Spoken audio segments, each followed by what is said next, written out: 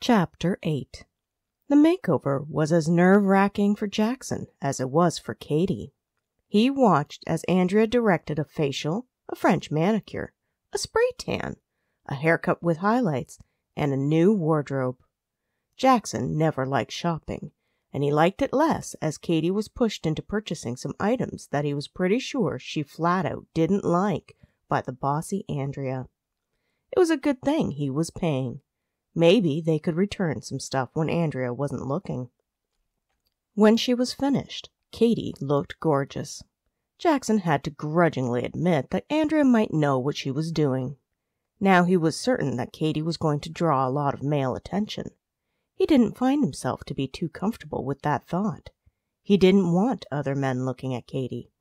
He didn't want her to look like she belonged on one of those fancy magazines on the rack of the grocery store. Jackson tried to tell himself that he was just looking out for the interests of Katie's missing beau, the father of her child. Truth was, he had to admit to himself, he was starting to like Katie more and more as a woman, and that wasn't where his thoughts should be, he remonstrated himself.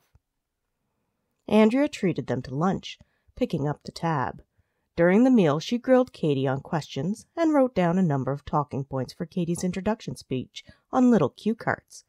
Andrea concluded that since Katie was the writer, she should be able to create a proper couple of paragraphs to memorize from the bullet points.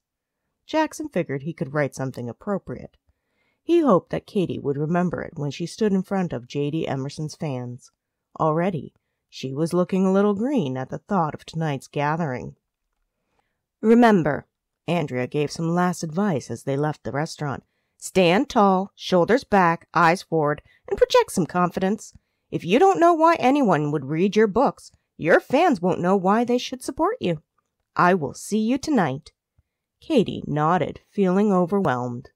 It was a lot of pressure Andrea was putting on her. Jackson stood beside her as they watched Andrea walk away and bark something into her phone. She's a bit different than I thought she would be, Jackson remarked with a grimace. What did you think she might be like? Katie raised a now perfectly plucked eyebrow as she asked the question. She didn't look like the old Katie that he knew, and Jackson felt a little pain at that. Katie had been just fine the way she was. She had been pretty before. She had been familiar. Now she was achingly beautiful, and Jackson didn't know what to do with that. I really don't know, he said ruefully. I guess I just didn't expect her to be so bossy. Perhaps that's what makes her such a good organizer? Katie shrugged. She didn't want to talk about Andrea any more. The agent had hinted more than once her interest in Jackson, and Katie didn't want Jackson getting any ideas about the leggy brunette. Should we practice so I can get better at this? You are paying me, so I should try to do my best. Jackson nodded. He wanted Katie to succeed, not just because he needed her to be the face of J.D. Emerson, thus keeping the limelight off of him, but because he genuinely liked Katie. He hoped this would boost her confidence and be a good fit for her. Jackson would write her a proper introduction, too, one that made Katie shine. Not because he necessarily wanted J.D. Emerson to make more sales. He did. But because Katie deserved proper accolades. They spent the rest of the afternoon at the hotel, going through questions and her introduction. With a frown, Jackson studied Katie's tired face after their impromptu study session. Why don't you take a nap before the book signing? You look a little worn out from all the fuss of today. I am tired, Katie admitted ruefully with a small smile. It hadn't been the easiest to sleep in the same room as her crush. She had been painfully aware of Jackson's every move last night. However, I'm also afraid of flattening my hair if I lay down. I have no idea how to make it look like this again. The salon didn't give me any instructions. Still, if you're tired, you should rest, frowned Jackson. He didn't see how her hair would be a problem, and he would rather Katie take care of herself and the baby. I'm fine. I need to memorize this anyways. Katie grabbed the next piece of paper, reading it over yet again. Jackson didn't approve, but decided not to protest. He didn't want Katie to think he was overstepping his bounds as just her friend. And that's all he was, he reminded himself. When it was time, they made their way to another larger bookstore chain in the city. There were twice the chairs and twice the women waiting to meet J.D. this time. Jackson waited on the outskirts of the crowd as Andrea called the gathering to attention and gave her a quick intro about J.D. Emerson. Andrea then motioned for Katie to take the stage. Wish me luck, Katie murmured to Jackson as she left to approach the front of the room. Good luck, replied Jackson to her retreating form. He believed they had done everything they could to prepare her for this moment. He was proud of Katie as she stepped forward to the stage. Katie tripped over the single step and fell with a squawk, the book that she was supposed to read from flying from her hand into the air. The paperback hit a lady in the front row in the forehead, and Andrea dashed over to the fan, frantically asking if she was okay. Katie sat up and blanched as she saw who Andrea was fussing over. Jackson could see her start to tremble and knew she was panicked. He grimaced and made his way to the stage. Katie looked at him pleadingly as Jackson helped her to stand. He put a reassuring hand on her shoulder, talking to her in a soothing voice, much as he would with any frightened animal on his farm. It's okay. It's just a minor setback. You remember your opening line? Minor setback, she hissed. Katie grabbed his arm in a death grip. That's the congresswoman that I just nailed with a book. Jackson looked in disbelief at the woman Andrea was fussing over. Sure enough, it was the local congresswoman. He winced. Andrea will handle it. That's her job. You focus on yours, okay? Katie nodded. She looked a little frantic. Deep breaths, nice and slow, he coaxed her. Andrea finally stepped away from the front row and gave Katie a look of desperation, motioning to the stage. I think this is your cue. Smile. Katie smiled and began her introduction as Jackson drifted off to the stand at the back of the crowd again. Andrea joined him. Does this usually happen with her? Andrea asked in a huff as she adjusted her jacket. Is she always such a disaster? Jackson thought back to the keys in the dumpster and the many other times Katie had a propensity for getting in sticky situations. She was an adorable disaster in his opinion. Pretty much. I had to promise the Congresswoman dinner with her favorite author as an apology. Andrea grimaced, pulling out a pocket sized organizer and a pen, looking over her color coded notes. Now we need to work that into the tour. Jackson was taken aback in a good way. J.D. Emerson is the Congresswoman's favorite author? Andrea nodded and rubbed her forehead, frowning in concentration. Yes, Plus, I have to rebook the first event that JD missed. Well, I'm sure you can get it done. He had every belief that she could do it. Andrea seemed very professional about the whole tour when she wasn't bossing Katie around. If she would just treat Katie better, Jackson would think that she was a fine person at her job. Honestly, Andrea confessed, looking a little stressed, this is my first big promo for an author and it's got me in knots. I would never have guessed, frowned Jackson. He hadn't thought that Andrea wasn't experienced in this sort of thing. She seemed to take charge and bark orders naturally. Yeah, well, Andrea looked at his faded jeans, work boots, and old coat. I wouldn't expect you to. Jackson found that a little amusing. He expected she wouldn't suspect that he was the real J.D. Emerson either. Katie looked up to see Jackson give Andrea an amused look her already frayed nerves frayed further. Katie desperately hoped that Jackson wasn't getting any ideas about his agent. They looked a little too cozy for Katie's comfort. She stumbled over what she was about to say, losing her place in her carefully rehearsed speech. Silence filled the room, and Katie swallowed hard as her audience waited expectantly. Was it hot in here? The lights seemed a little dim. Katie dragged in a breath. There were so many people right in front of her, all staring at her, all waiting for her to do something. She felt a little light-headed from all the attention. Swallowing hard, Katie grabbed her notes out of her back pocket. Somehow, the cue cards flew all over the stage. Oh dear, murmured Katie. She quickly started gathering the cards. Someone from the audience handed her the ones that had managed to fly off the tiny stage. There was no way that Katie was going to find her place or sort out the cards in a reasonable amount of time. She pushed the small stack back into her pocket, looking up in time to see Andrea staring at her in horror, and Jackson miming for her to open the book and read. I've lost my place. Katie gave an embarrassed laugh. I was memorizing what to say all afternoon, and now I can't recall a single word. Instead of droning on, I'll just read a little. This was met with approving murmurs from the crowd, and Katie gave a relieved smile before opening the book and retreating to the relative safety of reading out loud. I can't believe I have to work with this, a horrified Andrea breathed. She rubbed her forehead. I'm staking my entire career on this catastrophe in the making. Hey, Jackson remonstrated sharply. Take care about how you speak of her. She's going to be the death of me, complained Andrea, unheeding Jackson's tone. Coming here looking like some farm town hick having stage fright, and kiboshing the congresswoman with a book straight to the forehead. Any more calamities, and I don't know what I will do. My schedule is already messed up. First of all, Katie looked just fine the way she did before you and your stylist got hold of her. Jackson stated firmly with a warning in his voice. It's taken a lot of courage for her to do what she's doing. You have no right to put her down. Who is Katie? Andrea sharply asked, giving him her full attention. Jackson clenched his teeth at his blunder. It's a nickname.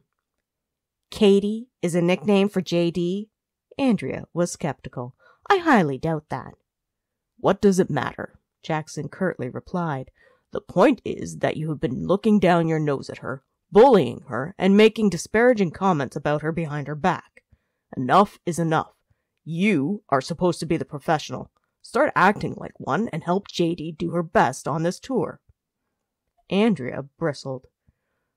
What is the phrase you country people use? You can put lipstick on a pig, but it's still a pig. Well, we have dressed her up and put on the lipstick, but she's still a clumsy mess. You are fired. Jackson was done. No one was going to insult Katie like this. You can't fire me, scoffed Andrea. You have nothing to do with this. All you are is her friend tagging along for the ride. She doesn't need to put up with you and your attitude. Jackson decided to put a halt to this. It would hurt sales, but he wasn't going to have Andrea treat Katie like this just to sell more books. Determined, he began walking up the aisle. Sensing that he might go to say something to Katie, Andrea grabbed Jackson by the arm, pulling him to a stop.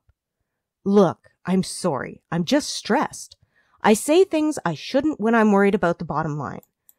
I convinced the publishing company to take a chance on JD in the beginning and have been babying her career ever since.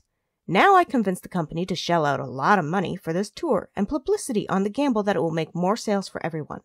If it doesn't work, I'm fired for real. Jackson gave her a narrow look. You need to treat JD better. If you can't do that, then this tour is over and we will go home. Fine. Andrea held up her hands in surrender. She finally realized that he wasn't bluffing. He would have hauled J.D. off the stage tonight. That would have been the end of her job. I will be nicer. It's not my strength, I will admit it, but I will make an effort. Good. Jackson hoped he wouldn't regret this.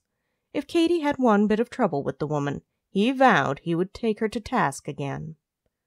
Jackson tried not to examine the protective feeling that had come over him. He went to the back wall, leaning against it with his arms crossed, studying Katie as she fielded questions from the audience. Katie thought she could make it on her own. She was barely managing. She needed someone to look after her, Jackson decided. He just wondered who that someone would be. Jackson fiddled with his lanyard, watching as they posed Katie for what was probably the one hundredth time, tilting her head just a little so the light could capture her correctly or some such drivel. A couple of flashes later, they had taken probably the thousandth picture of the day. Katie had been changing in and out of approved outfits, had someone constantly fussing over her makeup or hair, and had been put on all sorts of silly props for the photo shoot. It was a lot of work for a few simple photos that would be used in the media. Jackson was glad they weren't doing it to him. Getting Katie to pose as JD had been the best thing he had thought of to do. The interviews this morning had gone well. Each writer, reporter, or blogger had been given half hour slot to chat to Katie. With all the coaching she was given, she had managed to fly through the questions without a problem. By the last interview, she seemed almost relaxed with the process. Jackson couldn't have been prouder of her progress. Andrea flitted through the whole process, keeping an eye on how things were going. Miracle of miracles, she even praised Katie on how she had handled the interviews. Jackson could see that she made a concerted effort to be nicer to Katie, and he appreciated that. He didn't like that it had taken the threat of walking out to get Andrea to behave, but she was finally treating Katie better. Not one trip, slip, or mess up. Andrea came over to him looking a little frazzled. Aren't you worried? I just know something is going to go wrong and I can't stand the suspense. Why do you think something is going to go wrong? Jackson looked at her in surprise. Katie doesn't have bad luck every single day. You mean there are days where nothing happens? She bit her lip and watched Katie being posed with one of J.D. Emerson's books on a small couch. Someone was dragging a floor fan to the right spot and turned it on, making Katie look like she was out in a stiff breeze. Silliness, in Jackson's opinion. Who read a book on a couch with that much wind?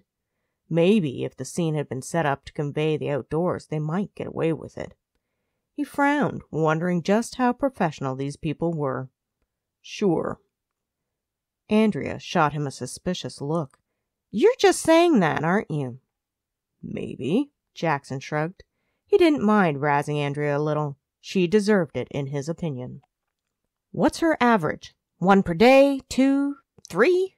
Andrea asked anxiously as she eyed Katie. It's like waiting for a bomb to go off and not knowing when the timer is set for. Relax, Jackson told her.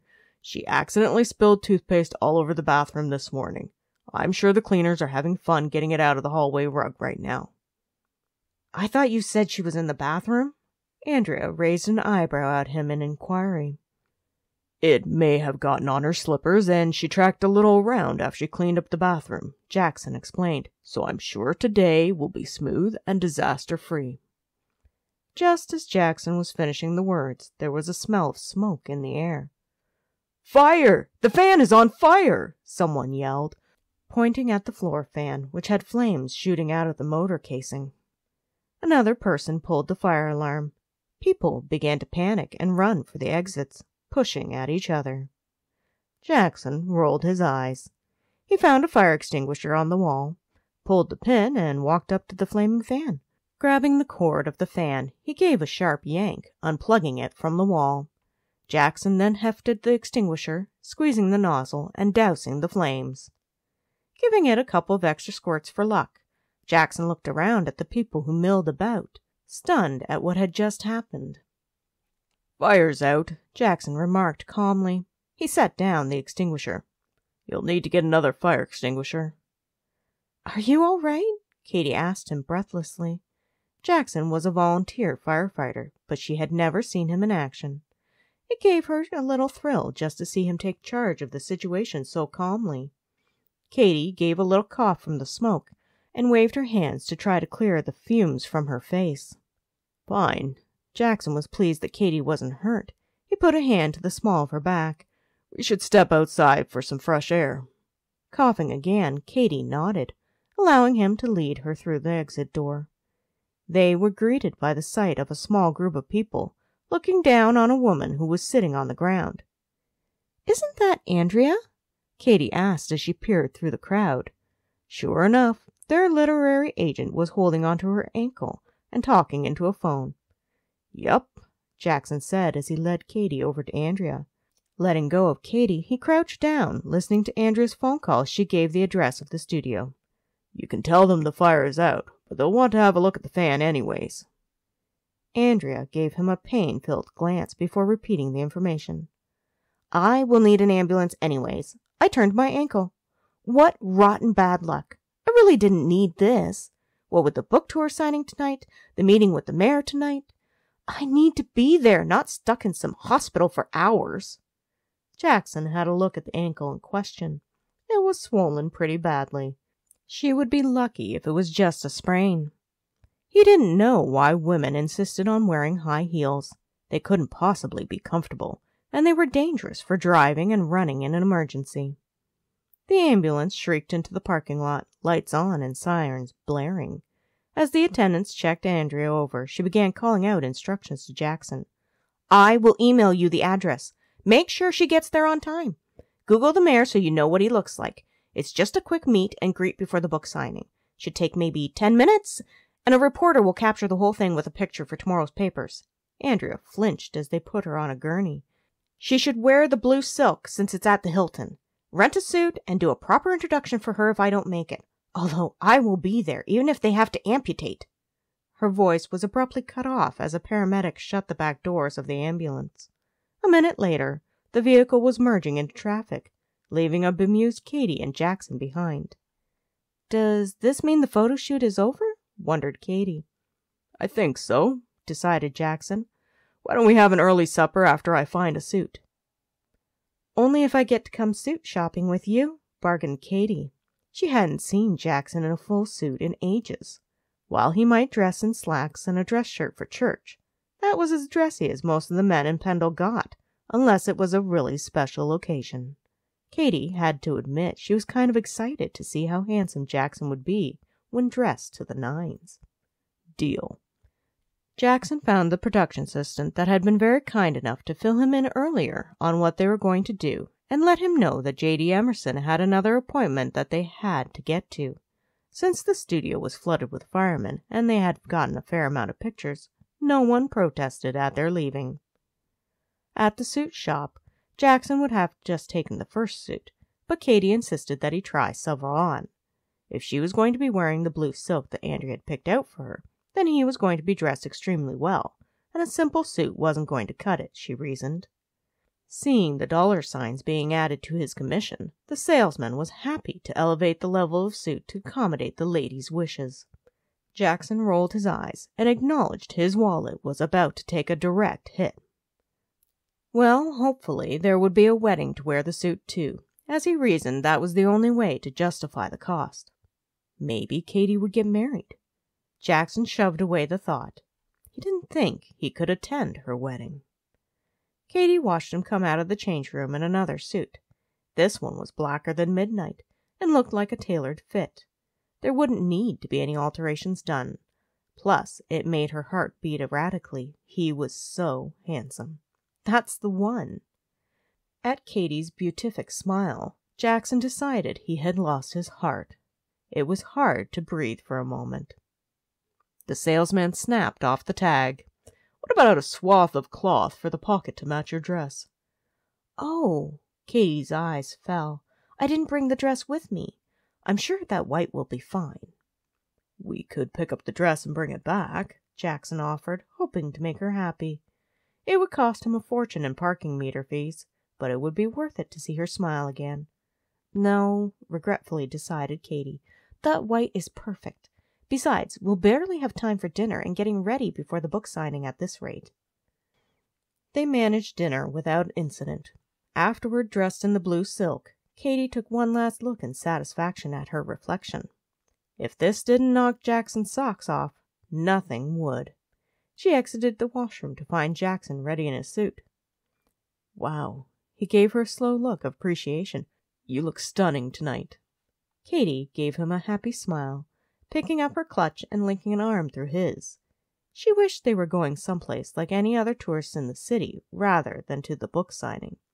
We look great. And we get to meet the mayor tonight, Jackson pointed out, then kicked himself mentally as Katie paled a little. Don't remind me, she muttered. I'm worried I'll say something silly or accidentally trip in front of him. You will do fine, Jackson assured her. And she did. Katie got through the small meeting with the mayor in flying colors. Jackson did a quick intro, and she took the stage to thunderous applause.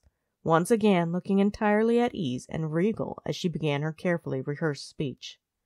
Jackson thought she was shining, even if she had just professed that her nerves were stretched to the limit before she met the mayor. She's doing really good, a voice said beside him. Jackson was surprised to see Andrea with a single crutch watching Katie. You made it. I said I would, Andrea stated dryly. She gave him a once over appreciative glance, liking what she saw. You clean up really well. Ever thought of doing some modeling for the cover of JD's books? Amused by the idea, Jackson shook his head. I'm a farmer, not a model. Too bad, Andrea commented regretfully.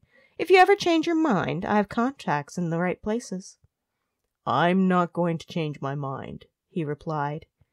If he thought he would get a lot of teasing back home over being J.D. Emerson, Jackson would be in even worse territory if he became a male romance cover model. He could just imagine what the guys would say. Better not mention to Andrea that he was a volunteer firefighter as well, he reflected.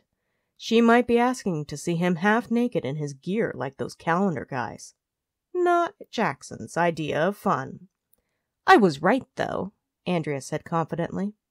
About what? Jackson asked, barely paying attention. Katie looked gorgeous in that blue silk. She was confidently fielding questions from the crowd. It was a far difference from the first book signing she had done. That she'd cause another disaster? Andrea gestured to Katie. You can't blame her for a fan going on fire. She didn't even touch it, protested Jackson. Then I suppose I can't blame her for my twisted ankle, even though these fiascos only seem to unfold when JD is around, Andrea said wryly. She didn't do it, he repeated stubbornly. Katie hadn't even been near Andrea when she twisted her ankle. Maybe her bad luck is just rubbing off on you. Andrea looked at him in horror. You mean like transferring itself to me? Probably, deadpanned Jackson. It might do Andrea good to be a little rattled. Not that he believed that bad luck could rub off from one person to another. Normally, he didn't even believe in bad or good luck, except where Katie was concerned. She seemed to draw more than her fair share of misfortunes. Do you think she's going to make the deadline for the next book? Andrea asked in alarm. If she doesn't, would that be her bad luck or mine? Possibly both, he grimaced. In all the excitement lately, Jackson hadn't been working on the missing scene in his unfinished manuscript. The characters were still stilted and awkward on page. If he didn't get it done, all three of them would be in for some bad luck. Jackson glared in frustration at the laptop screen. He was no closer to making the story work to his satisfaction since he had deleted the scene the first time. He had rewritten it a total of five times, and yet the words seemed stale and uninspired. He just didn't know what to do with it, and now that he knew that particular aspect of his writing was flawed, he was having a hard time creating a moment between the two main characters that satisfied him. He let out a growl of frustration and laced his hands behind his head. Katie was just coming out of the bathroom. She gave him a look of concern. Unfortunately, the hotels in the area were booked solid with some set of conferences going on, so Jackson and Katie were lodged in the same room. Fortunately, there were two queen size beds available. It was still too close for Jackson's liking. He was becoming more and more uncomfortable being around Katie. She smelled nice. She looked amazing since the makeover, not that she hadn't before, he reminded himself. She was just too close for comfort, and he was starting to wish for things he just shouldn't. Are you still working on that? Katie brushed her wet hair and leaned over his shoulder to read the screen. She smelled like shampoo and something uniquely her. She was so close, and yet he didn't dare make a move. How would that look, especially if she was in a relationship? She pointed to a paragraph on the screen. I like that part. Yet not the rest. Jackson growled in frustration over more than one situation. I have two more days to get this right, and then it will be late. I've never been late for a deadline. Katie frowned as she read on. It's not your best. I know, he said dryly as he stared at the words which just weren't flowing correctly. Hence the dissatisfaction I'm feeling. I have an idea? She bit her lip. Jackson watched her, not inches away from him, and wondered what it might be like to kiss Katie. What? He was ready for anything that might help. He needed to get this done. He also wanted to get back to work and get his thoughts off Katie. She was occupying more and more of his mind. Get up. Katie put down her brush, standing up straight. Come on. Jackson reluctantly stood as she instructed. What are we doing? Well, the characters are dancing, right? Katie grabbed his phone and had it play a popular slow song before setting it on the desk. She stood directly in front of him and put her hands on his shoulders. You be him and I'll be her. Maybe we can figure out what they would say and do. He slowly put his hands on her waist. Katie, I'm not sure this is a good idea. Why not? She looked up at him curiously. Katie had always wanted to dance with Jackson, and now would probably be her only chance. She decided to be brave and take the opportunity while she could. They were three feet away from one of the two queen size beds in a hotel room. That's why. Jackson didn't give voice to the thought. I don't dance. I've seen you dance before. Katie frowned at him reproachfully. What I mean to say is, I don't dance well, grumbled Jackson. He wondered what other excuse he could use to stop this train wreck before it happened. He probably shouldn't confess that he was starting to have feelings for her. It would really suck if she told him she was in love with her baby daddy, whoever he was. Just give it a try. You be Monroe, and I will be Alana. Katie cocked her head to the side and looked at him patiently. Jackson, it doesn't work if you don't dance. Knowing that he was probably going to regret this somehow, Jackson gently pulled Katie a little closer and started to move to the music. What did you think about the house? asked Katie, repeating what the female main character was supposed to say. She waited patiently, and when he didn't respond, she repeated the question. What did you think of the house? I think it's a big place for one person, Jackson dutifully said Monroe's line. If his tone was a little flat and annoyed, Katie didn't pay any heed. She was exactly where she wanted to be, in his arms. A lot of people buy a home while planning for the future. Maybe someday you'll have a wife and family, she said softly, leaning a little closer. Maybe, he said a little huskily. Are you applying for the position? Maybe. Katie held her breath waiting for what was next. The atmosphere in the room had changed, charged with something she couldn't quite define. There were too many maybes in the dialogue, Jackson's brain foggily catalogued, as he moved his hand to cup her cheek. He lowered his head and brushed his lips against hers. She was intoxicating. He kissed her again, threading one hand through the hair at the back of her head and the other hand going to the small of her back so that he could press her closer to him. She gave a breathy sort of moan, pressing herself against him. Jackson wasn't sure he had ever felt this level of desire for another person before. Kissing Katie was explosive. She fit him perfectly, and suddenly he felt a fierce ownership of her. He didn't know who the other guy was, but he wanted him out of the picture. He allowed his hunger for her to be reflected in their kiss, and she matched him. He backed her up to the bed, gently lowering her and following her down. She lifted up his shirt, her hands exploring, and he realized rational thought was about to leave the building. Jackson kissed her along her jaw, his stupid conscience making him ask, Do you have a boyfriend? Katie's brow furrowed in confusion. Are we ad libbing? It was like a bucket of cold water had been dumped on him. She thought this was still play acting for the book. Suddenly tense, Jackson dragged in a sobering breath. I need to think. I'm going to take a walk. He spoke probably a little more harshly than he should have, but he needed to get away from her for a while. He pushed himself away and off the bed, heading straight for the door, not looking back. An hour in the cold snow outside might be in order, he thought as he shut the hotel room door behind him. Katie lay in the bed. After she let her heart rate settle down from the inferno that Jackson had caused, she analyzed everything that Jackson had said and couldn't come up with any answers. Why had he left so abruptly? Where had he gone? Had he felt what she had felt? The only thing she knew is that nothing would ever compare to what she had just experienced. Talk about first kisses. She decided to wait for him and ask questions when he returned. What had he meant when he asked if she had a boyfriend? Did he mean her, or was he still in character? Katie hoped that he was asking her, not Alana from the book he was writing. If he was asking Katie, did that mean he was finally interested in her? Suddenly, she felt more nervous of Jackson Davis than she had her entire life. Could it be that he might finally see her as more than his younger brother's friend? What if he did? Katie would definitely look forward to more kisses like that, she decided. They were addictive.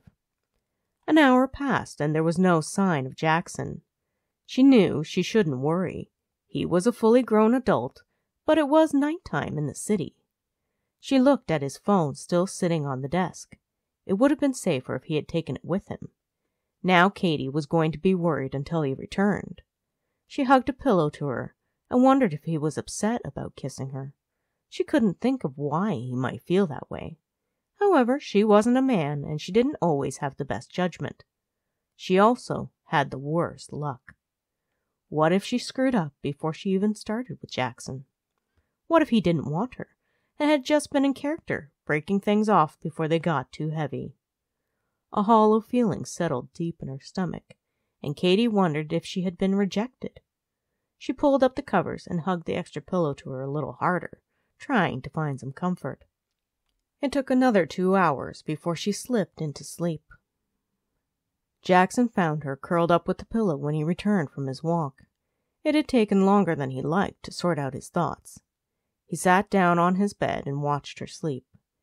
Maybe he was a first kiss cynic, but there was nothing to be cynical about from that first kiss with Katie. He had never experienced anything like that. He needed some clarification where Katie was concerned. Eyeing his laptop, Jackson got up and turned it on. He had everything he needed to make the scene come to life. Jackson hoped his fans appreciated it. Once done, he saved the file and emailed it to Andrea. Thank you for listening. You can find the full ebooks, paperbacks, and Audible books on Amazon. Happy reading!